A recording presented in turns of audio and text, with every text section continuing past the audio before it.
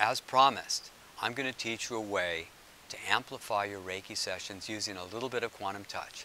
Now, you can think of this technique that I'm going to teach you akin to training wheels on a bicycle.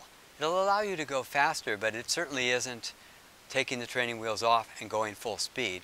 But with that said, let me show you how to do this. We'll start with what I'll call a 4-4 breath, which means you'll inhale for four counts deeply, and you'll exhale for four counts.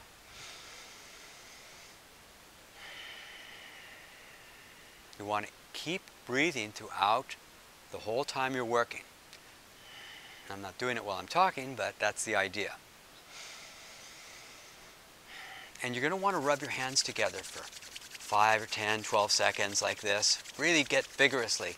Then, if I was working on my knee, I would just hold my knee while I'm keeping the breathing going. Now here's the other key.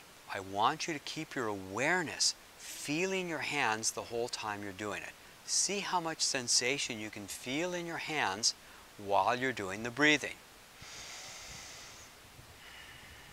Now, we're doing a very sophisticated technique I call the where does it hurt technique.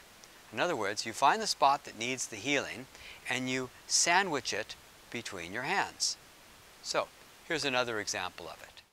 To demonstrate this technique, I rub my hands together get the breathing going, put my hands in place. I'm focusing on the sensation in my hands, keeping the breathing going. Stay with it. Just hold the position as long as necessary. They say if, if love is the answer and it's not doing the job, increase the dosage. So stay with it, keep the breathing, keep your awareness in the hands, and we use the where does it hurt technique. In this case, it was the shoulder, so I am sandwiching the shoulder with the hands. And every minute or two, rub your hands together again.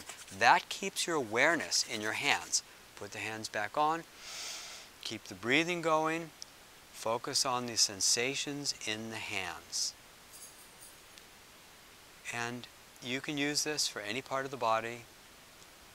Use it as long as you like bring in the Reiki, and continue doing this as necessary. If you want to learn more and continue your exploration of quantum touch, we have hundreds of instructors around the world and practitioners who can give sessions, and we have uh, a video workshop that you can see online if you're interested in that. So I encourage you to continue your explorations of quantum touch and experiment with this. Find out how it works for you. I think you're going to love it. And we have hundreds of, actually thousands of Reiki people who have learned to combine Reiki with quantum touch. Thanks so much for your time.